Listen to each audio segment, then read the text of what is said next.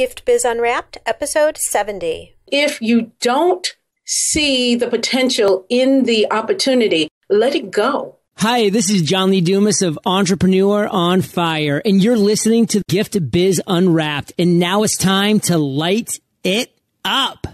Welcome to Gift Biz Unwrapped, your source for industry specific insights and advice to develop and grow your business. And now, here's your host, Sue Monhait. Hi there, I'm Sue, and welcome to the Gift Biz Unwrapped podcast. Whether you own a brick and mortar shop, sell online, or are just getting started, you'll discover new insight to gain traction and to grow your business. And today I have joining us Shirley George Frazier. For those of you who don't know Shirley yet, she is recognized as a world authority on gift baskets and starting a business from scratch. In business since 1990, Shirley is head basketologist at Gift Basket Business. She helps creative people and aspiring entrepreneurs to create a great life for themselves and their families by turning their passion into a fun and rewarding business. Shirley's books include How to Start a Home Based Gift Basket Business, the Gift Basket Design Book, and Marketing Strategies for the Home Based Business.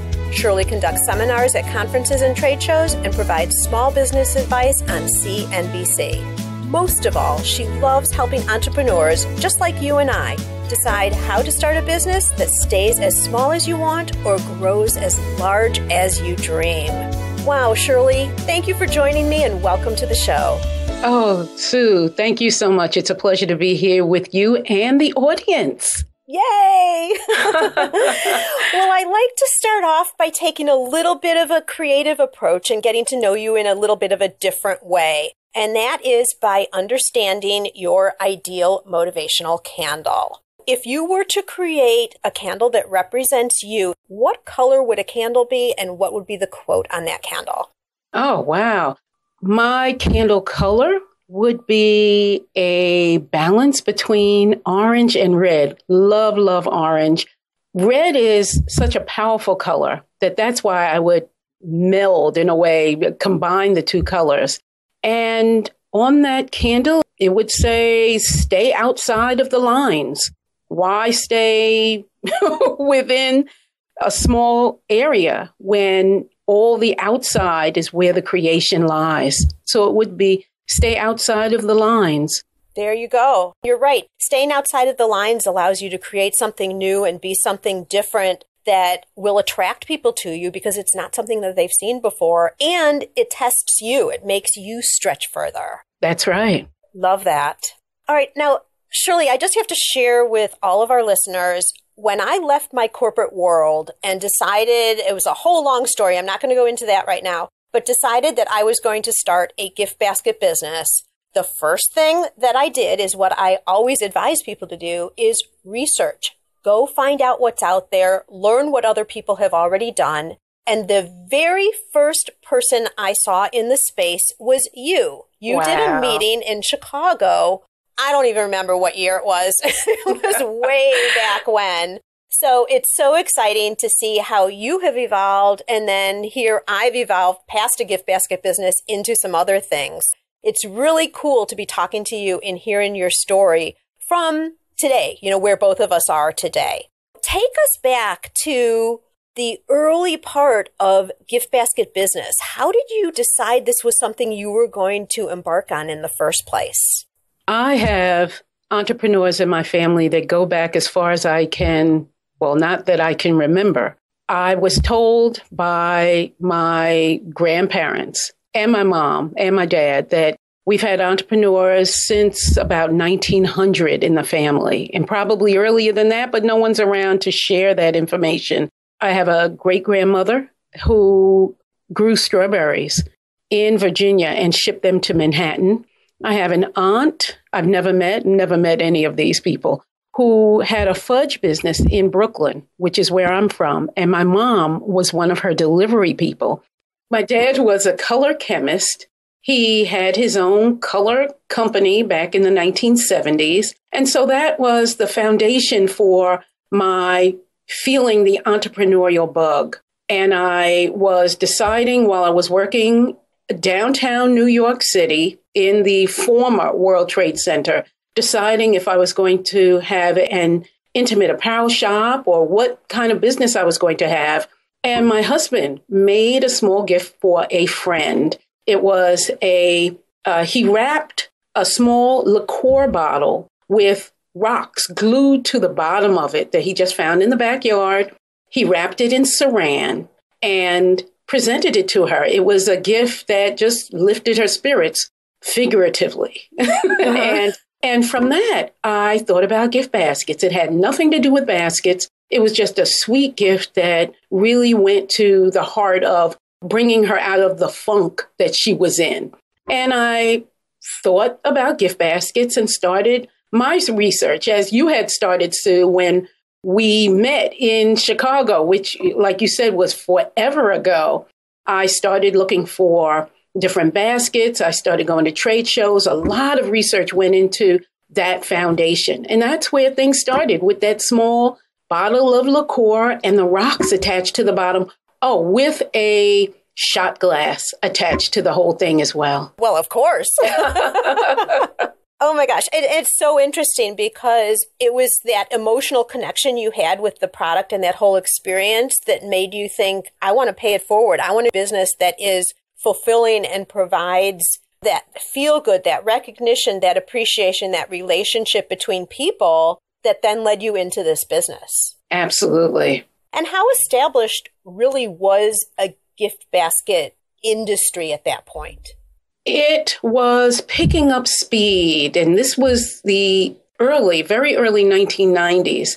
Like many industries, gift baskets have come and go as a focus for gift giving. They've never really gone away, but there is that flow of popularity and then it pushes back. Gift baskets have been around from my research since 19 either 1913 or 1916 when gift baskets started through a baby's changing station being the foundation, not a basket, but an actual changing station with the bibs and all kinds of things that you give to a baby wrapped in cellophane.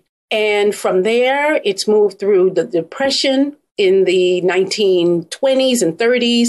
It was a ration gift that was given to the rich during World War II. So gift baskets have come and go in popularity, but it's never gone away. In the 1990s, gift baskets again was picking up speed. There were people who were giving gift baskets in the real estate industry. They wanted them made by people like us to give to their clients for uh, uh, different industries and different occasions. So when I started in gift baskets, the popularity was there, and it was also confirmed by a magazine called Gift Basket Review that started a month after I came into the business. So it was a really great time to start to dream in a way of how a gift basket business could be built and how it could bring value to the world.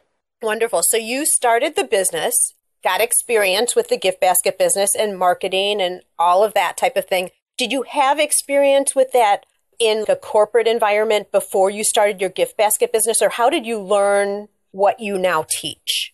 Even though I was not built for the corporate world, I had to put food on the table in some kind of way. And I do credit the corporate world, uh, and I was an administrative assistant at the time. I do credit the corporate world for giving me a great foundation in terms of understanding organization and time management. The training that I received through secretarial school helped me with shorthand and typing and those kinds of things to help me then build my business in the business sense. I had to learn the design part because I have to tell you, my designs at the very beginning of the business were horrendous. Oh, they were so awful. I still wince when I look at what I created. The passion was still there. And even if you don't have a design sense or business sense, you can still build on that. You can still learn what you have to learn because you have the passion for that particular industry and bringing people and corporations together. So that's how the corporate world helped me with the focus on building a good business and how that's done. I want to bring up one point here, actually, two points, and you've led into it very nicely. a lot of our listeners are, you know, everyone is in like the gifting, baking, crafting, designing industries. And all of those are different types of things. Like gift baskets is different. Your, you know, your product is different. Maybe you're a candle maker or jewelry designer. The product is different. The basic core issues of building a strong business remain the same regardless. So that's why I like in this podcast where we interview different industries. And even if you know nothing about the gift basket business, all of you gift biz listeners, if you are in a creative business or looking at turning your product and craft and passion into a business, all of these guests we have and topics we talk about remain the same when they're so business focused. So that's number one. Number two, Shirley, I know you feel this way because practically everybody who's been in the gift basket business has to address this issue at one time or another. So, just for a little more depth into the industry, I want to talk about it for a second. So many people will say, oh, gift basket business, you know, that's just such a fluff, fun, you know, business, like little hobbyish type business. Oh, how cute. Oh, how sweet. You know, you get that kind of thing. Yes.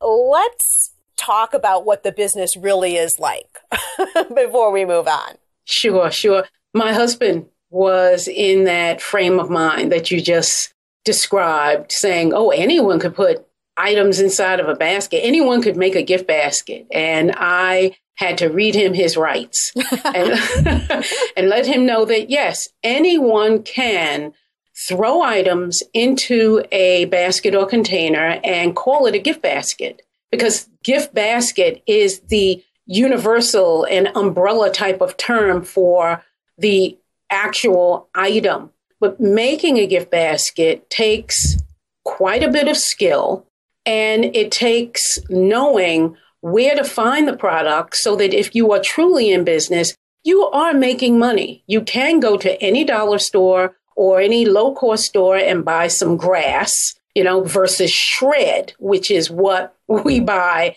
as designers, as professional designers. And you can use saran wrap versus high quality cellophane or shrink wrap and truly put a collection of products together that focuses on the emotions that need to be unveiled through whatever wrapping is used to hold that collection of products together knowing how to keep items upright and finding the unique or the basic eat and enjoy products is what we look for. We don't just go to the grocery store and pick up Lay's potato chips, and I have nothing, there's nothing wrong with that brand, but we look for unique and clever and enjoyable products that represent a theme, an occasion, and not everyone can do that. Anyone can just throw items in a basket, but it's a whole other mindset when you are creating a presentation that will last forever in memory. Exactly. Creating a presentation and then making an impact you know, with whatever the message is supposed to be. Building a gift basket, there's the foundation, there's the structure, there's the visibility of the different products, all leading to an end result, which is the presentation and the impact with whatever the message is supposed to be, whether it's a get well, appreciation, birthday celebration, whatever it is. Absolutely. The, the other thing is, I know this that when you're, especially working corporate where you're doing hundreds of baskets, it is hard work. oh my gosh. Who knew? Not me. it is physically hard work. Absolutely. A lot of labor. Yeah, and especially when you have wine baskets. Those are heavy. Or pasta with the pasta. Oh my gosh. Yes, so true. Shirley, take us to a time just so that we can learn. Take us to a time in the business when you met up with something that was really unexpected or really like a really bad time because we all have them in business. You know, business isn't all beautiful and seeing the dollars coming in. Can you think back with something that happened specifically in the business where you were really, really challenged? And then how did you overcome that issue? Well, how could I be challenged in this industry when everything, as you say, as you allude to, is roses and light? I could not have had one challenge, right, Sue? I can't wait to hear where this goes.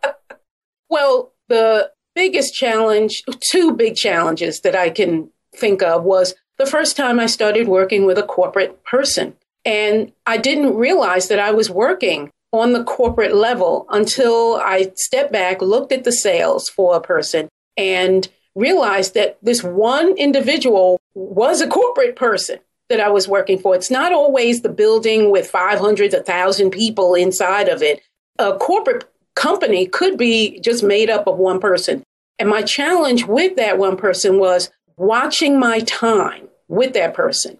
Just like in building a gift basket, you watch your time. You certainly have all the products, but you don't want making the basket to take an hour. I started to have to watch my time with this particular corporate person and not spend hours with her to get a $50 gift basket. What did she keep making changes or something? Well, it wasn't changes. It was her, it was balancing following her. The, her, how can I say this with following her?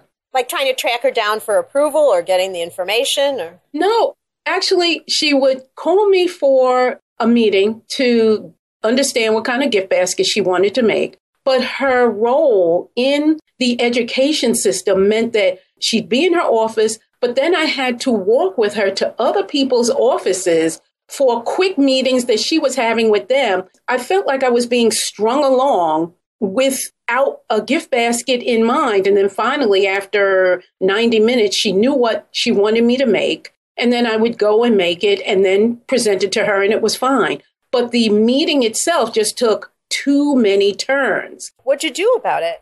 I had to school her as we have to educate our customers to let her know that I appreciated her as a customer. However, I was not able to track her throughout her offices to finally get to what she wanted me to create. So I told her that I was happy to meet with her, but it would only be for 20 minutes because of other business that I had to take care of. And even if I didn't have any other business, I had to help her to understand my time limits. Right. And it set you in a professional light too. You only have a certain amount of time. And Gift Biz listeners also, this is a perfect example. Just because people are interested in purchasing from you doesn't mean that you select them as a customer. There are sometimes customers that, you know, think it sounds like you coached her enough to see that this is how we have to work moving forward, or else I'm gonna have to charge you five, you know, $150 for that $50 gift basket. But there may be times when customers don't get it and you just need to walk away from the business because it ends up being more output on your end than you're getting back. It's a hard thing to consider, especially in the beginning when every single sale is so precious. But something to know right in the beginning is, especially with corporate people, you can teach them how to work with you right from the start. And I think you're more appreciated and recognized as more credible if you do that as well. Very true. Really interesting. And I think you said you had two challenges. So that was number one. Second was when uh, years later, when I started working with a wine company that called me out of the blue, they found my name on the internet. They needed a prototype that would be made, thousands of gift baskets would be made from this prototype. And the big challenge with them was that they thought, as we talked about, that gift baskets were easy to make. Shirley is just going to throw this together and we don't have to pay her much. We're a giant wine company and we're going to save money. And another person who is very popular in the gift basket industry said to me that these people have probably tried to get others to make this prototype for them and it didn't work out. And now they're trying to get you to work for the same pennies that the other person was going to accept. Mm. So again, it became education. Um, the prototype itself wasn't difficult to make, but the uh, there are hoops that large companies expect you to jump through. And even if you have never worked with such companies before, you have to take your time and not be so overwhelmed with this is a big company. The fact is that They've come to you because they don't know what to do. So it is okay for you to sit back, determine what they want, how you can deliver it, if you can deliver it, and what your fee is going to be. You may never have been in this realm before, but whatever fee you decide, you're immediately to double that fee because they are going to take you through your paces and you're uh-huh. going to shed a few tears and you are going to get stressed. So you need double of what you think you ought to get. And I got double and the prototype was made. My key to this is not being uh, so excited about working with a big company. Find out what they want and decide if you are the person who is going to help them. Let the lesson and let the business allow you to grow. And if you don't see the potential in the opportunity, let it go. Don't be stressed. Don't cry. Don't shed a tear. If it's not going to going to work, then it's not. But yeah. this happened to work out. I want to talk about how it worked out, but I want to just mention a couple of things right here as a focus. You're so right. Because when large names come to you and approach you, it's an ego thing and you want that business because you associate it. Well, oh my gosh, if I'm working with this X large company, that means I'm growing and I'm getting better and all of that, which is true, but it can also knock you to your knees because if they cut your price so low, you may actually lose money by doing the business you might then not be able to accept other business that's more profitable because you're in production with this big company. And if it ends up only being a one time thing, really, what has it gained you? Absolutely. Practically nothing. And I am so glad you bring this up because I see this over and over again. Even today, Shirley, I'm out of the gift basket business. I'm into another business and I will see when I'm working with the larger companies, multi store chains, they want to get as much out of you as they possibly can. And you have to make sure that you're putting together numbers that you can live with long term because they're not probably ever going to go up, you know, once they've negotiated you down. And it's something that you can actually live with. Really important point, Shirley. I'm really glad you talked about it. All right. So we talked about this prototype that you had that was thousands and thousands of baskets. Were you guys then producing all those baskets? No, we didn't. I decided in our negotiations that I would find an assembly type of company, a company that imported temporary employees to be able to make the gift baskets in an assembly type situation within a workspace. And I found a place in Virginia that was interesting in itself as well. So the answer is no, we did not make those thousands. But it went through your company. Yes, it did. Yeah. So, but you outsourced the business. Absolutely. Yes, I did. Got it. And so you said that was interesting. Is there anything else to share on that topic? I was just going back talking to another person who was in the gift basket industry. I was very pleased to not to just talk to my staff but to also get an outside look. And I know the word's not look, but outside motivation from another person to decide whether or not that business, that opportunity was for me. So sometimes you can't just talk to your staff, or if you don't have staff, it's not enough to talk to yourself because your mind will set, tell you either yes or no without more information that you can't get from your mind because if, if it's not there, you're not going to get it or you're too close to the situation. Right. So getting affirmation or reinforcement that your thinking is on point, you know, you can do that with someone else who's in your business.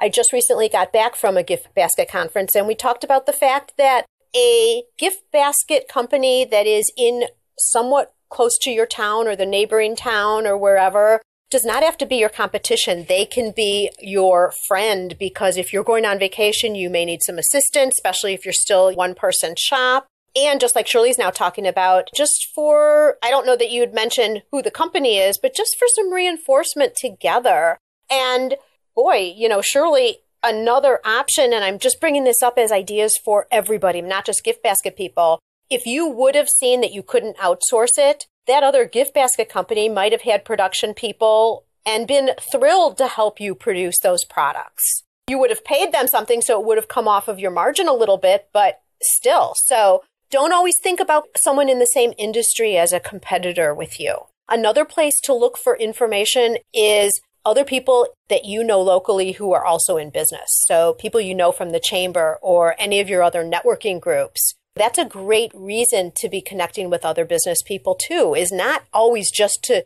trade leads and get business, but as support for your business. Absolutely. On point. I want to talk now a little bit about how you turned. So you're making, you're in the gift basket business, but now you pivoted and you're doing more teaching and training and coaching. At what point did you do that and why did you do that? I started with training and coaching in my fifth year of business. And I did that because I felt that I had turned a big corner in business by not only working with quite a few corporations in the insurance industries and other industries, I had also been on several cable broadcast shows. I had been on CNBC, as you had mentioned, on the Food Network, on uh, New York morning shows. I felt that I had enough information to share with other gift basket professionals how they could build their business one step at a time and not stay at a certain level that they felt that they were finished with. Working with more corporations, getting more influence, whether it was through radio or through broadcast television. At the time, the internet was not around yet, so there was no social media and such. But I've always loved writing. I've written stories since I was in first grade. And I felt that I was a good enough writer to start writing articles, which I did for several magazines. I also spoke at gift industry shows, not only gift basket shows, but also the big gift trade shows in Chicago, New York, and, and such. And that's where the turn was made. I, I was still making gift baskets for my customers, especially those in education and the, the other sectors, other corporates. But I knew that by giving back, so to speak, to those who were in the industry coming up after me, even though it was just a mere five years, it would help to strengthen the industry. So even if I didn't get some business, I knew that others in the industry would. And I didn't mind stepping back or reaching back and bringing others with me to share their expertise with the customers that they knew that they could get in the future. I love that visual that you just said, Shirley, reaching back and bringing others with you. Haven't heard that before. I am going to be repeating it and I will accredit it to you. Glad for you to share that. Does this get your wheels turning, you guys? I mean, are you a candle maker or you know how to knit and you've been doing it for a long time? Perhaps you're in business. Maybe you're not. Maybe you're thinking about a business is that business producing your product or is that business teaching others how to do it? Just something to think about. Just a little side note based on what Shirley's been talking about here. All right. On the sales end, do you have any tips for people about how to capture business? What has worked for you back then or even today? What's applicable in terms of drawing in the business? Drawing in business, I believe, goes right back to when we talked about the motivational quote on the candle, which was staying outside of the lines. Once I believed in and was committed to making and selling gift baskets, I saw no reason to only send out postcards and letters, which is a great base because that does keep your base influenced and keep your it also keeps your business top of mind. And it's not that i'm in the new york area that had me thinking about what i did but knowing that i was in a decent metropolitan area i started approaching larger companies visiting them so that i could speak with people face to face whether it was people who i knew who were connected with other corporate people or in the case of broadcast media going to where the media center was and delivering my information to them so that they could consider having me on television showing gift baskets to millions of people instead of a one to one kind of interaction with people. Also, in today's day, social media is talked about a lot, and social media can be a big help in connecting you with the audience and with the prospects you want to become clients. One way that I connected with a person was through Twitter, and that person was sharing different tweets, as it said. And from time to time, I would share a comment with that person. And this doesn't always happen. And I rolled my eyes when I read that other people had done this, but the person started to communicate with me. And from there, I was not only able to make gift baskets for the person, but also get referrals from that person. Another person on Twitter that I commented with, that person contacted me, and I ended up being on a television show with that person. So things can happen if you, again, stay outside of the lines, don't stay in a comfort zone, and just try what you believe could possibly happen. Take the chance. Absolutely. And you will not fall on your face. That's the beauty of having a business and knowing that you can go in any direction you can. You will not harm yourself, so to speak. You're not hurting children or animals. So you're just taking a chance to see where a connection could go as you move forward and build your business. And no one even needs to know that you're doing it. So your ego might get bruised if something you try doesn't work or you get rejected at the door or whatever, but it's not like you're in a corporate environment where people have to know you even did it. And what if it works? I mean, surely being on TV several times and being in trade magazines and all of that never would have happened unless you took the chance. That's right. Another thing is that quite a few publications will put their editorial calendars online. Not all, but some will you have the chance to look at that editorial calendar because there is a link to it on the magazine or the publication's website, and you can see what issues they are going to report on. If an issue matches up with some information you want to share about your particular craft, your particular business, you can send the magazine information, you know, three tips or something that you believe is going to be of interest to their readers just plant a seed so that the editor or the reporter can possibly contact you so that you do get your name in the news. So that's another way that you could expand your business.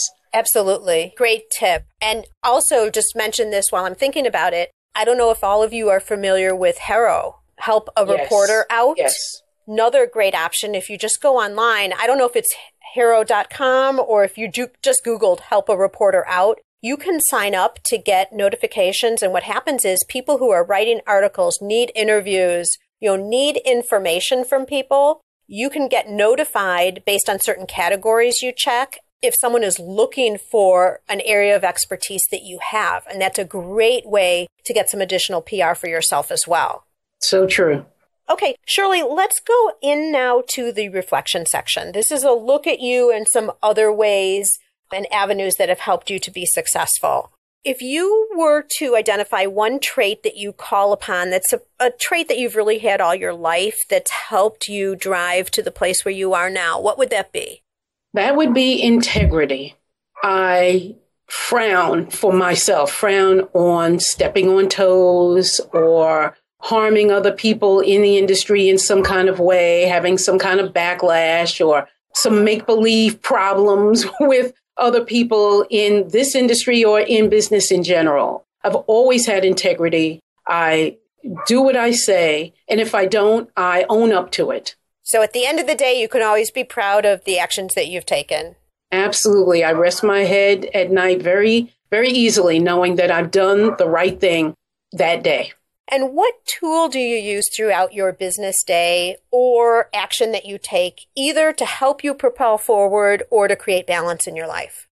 The tool that I use is my pen, my pen and paper. That is the general tool that helps me to map out how I can be productive and what I need to do to keep balance.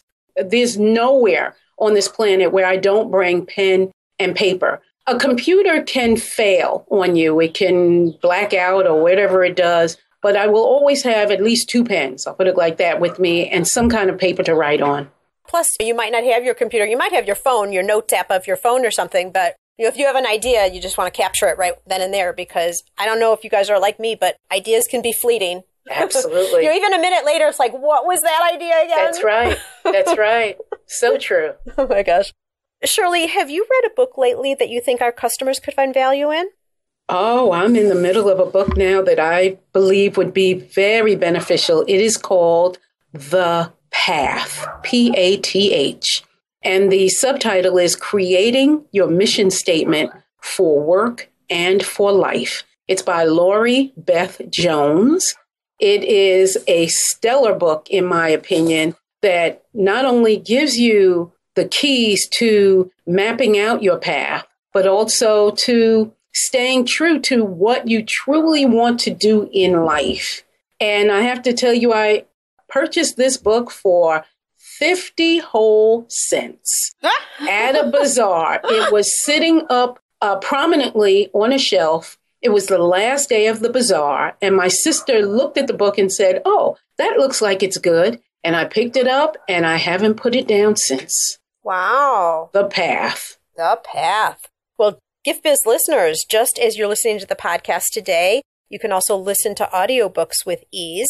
I've teamed up with Audible for you to be able to get an audiobook just like this one, The Path, which sounds so interesting for free. All you need to do is go to giftbizbook.com. And if you haven't already, then make a selection. And the first book is on me. That's giftbizbook.com. All right, Shirley, I would like you now to dare to dream. I'd like to present you with a virtual gift. It's a magical box containing unlimited possibilities for your future. So, this is your dream or your goal of almost unreachable heights that you would wish to obtain. Please accept this gift and open it in our presence. What is inside your box? Oh, I do accept that gift. First thing I would love is partial ownership of an XO charter jet. Yes, I would. Look, let's go to the top. Yes, absolutely. and I don't want full ownership because then I have to find the place to dock the plane and clean the plane and all that. Partial ownership will work so that plane is where I need it to be so that I can board it along with May and Peppy, my two Yorkshire Terriers, and we can fly to many places where entrepreneurs are and speak with them about their dreams, about their goals, and help them to succeed. That would help me to get to a lot more people in a shorter amount of time. Nice and efficient. Absolutely. Yes. I would also accept a facility.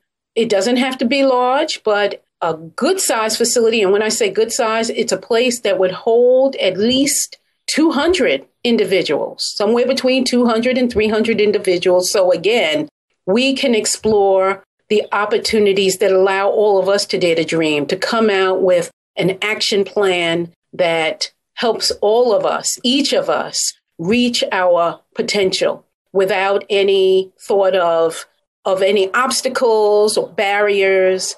I would also accept a pair of Rockport shoes. let's, go down to getting comfortable so that when the gatherings are over or after I get off the jet to meet with so many of you that my feet feel good. That's the one thing that I cannot put on a back burner.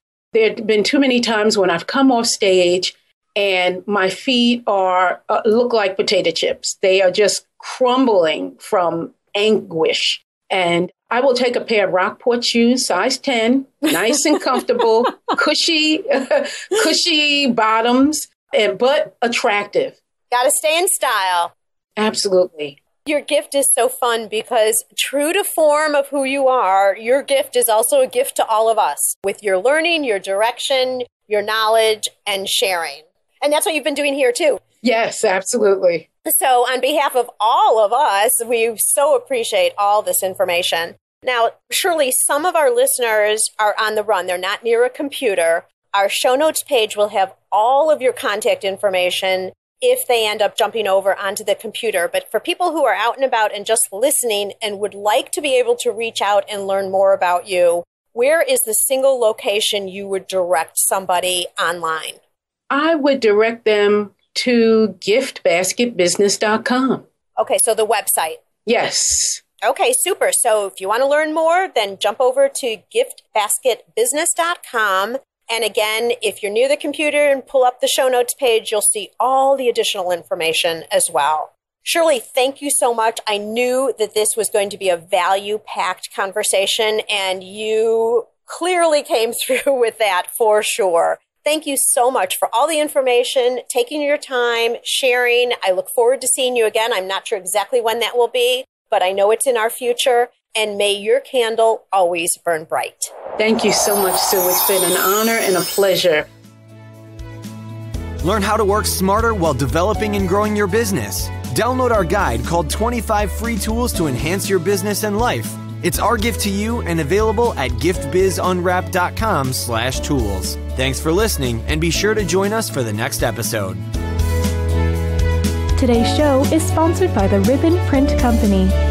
Looking for a new income source for your gift business? Customization is more popular now than ever. Brand your products with your logo or print a Happy Birthday Jessica ribbon to add to a gift right at checkout. It's all done right in your shop or craft studio in seconds. Check out theribbonprintcompany.com for more information. After you listen to the show, if you like what you're hearing, make sure to jump over and subscribe to the show on iTunes. That way, you'll automatically get the newest episodes when they go live. And thank you to those who have already left a rating and review. By subscribing, rating, and reviewing, you help to increase the visibility of Gift Biz Unwrapped. It's a great way to pay it forward help others with their entrepreneurial journey as well.